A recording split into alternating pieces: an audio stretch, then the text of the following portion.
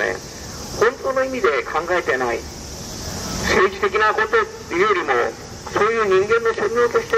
何が行われ何が解決されなきゃいけないのか。いったことをですね政治の枠で考え解決していくことには限界があるでしょう。でも政治を超えてなおかつそういう問題を超えていこうとする努力いった問題がね背後になければ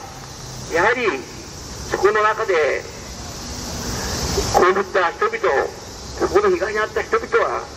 問題の解決はつかないだろう。そういうことが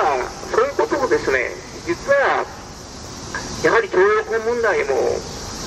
慰安婦問題も突きつけている。そういう問題をやっぱり象徴して示してるんだよ。これがねだから日本人我々が戦争についてどこまで深く考え何を考えそしてどういうふうに戦争の問題を今後の問題で考えていくかいった問題をね考えて考えるべきことなんだよというようなことをやっぱり示したなんじゃないか。その意味ではね皆さんがここですぐ言われる本当の意味で戦争の死者って何なんだ？戦争の死者の声って一体何なんだ？死者が無言のうちに我々に語りかけているものは何なんだ？我々に汲み取ると要求するものは何なんだ？いったことをですねやはりまあ言ってみりゃ安倍首相もそのね河野大臣もね、まあ、戦後世代だからわからないのかなというかでも戦後世代だからというふうに言うにはねちょっとやっぱり問題がありすぎるよねというふうに随分思いました。まあね笑い事になるかもしれないけど河野大臣でも安倍首相でもいいけどここへ来てですね者とは何なのか記者の声とは何なのかということをですね聞いてもらいたい。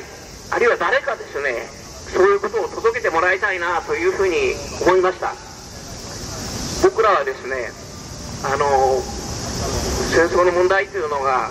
そんなに簡単にイデオロギーなで解決はつかないそう深い問題だ。考えれば考えるほど謎めいた多くの問題をやはり突きつけ考えては考え直し考えては考え直しながらだんだん自分の考え方を深めていく。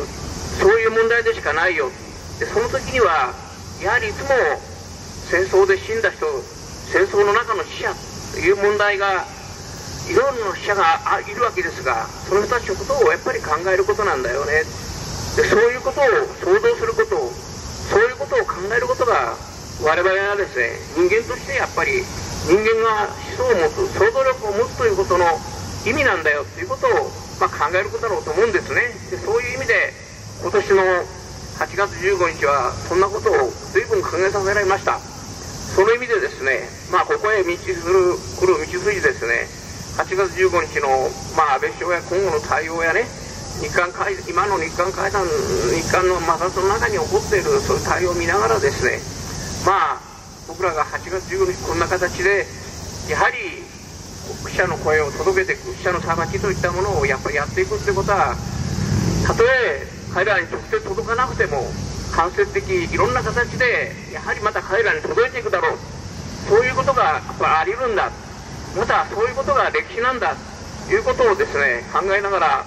これからもずっとですね続けていっていただきたいし続けていきたいと思います。どうもありがとうございました。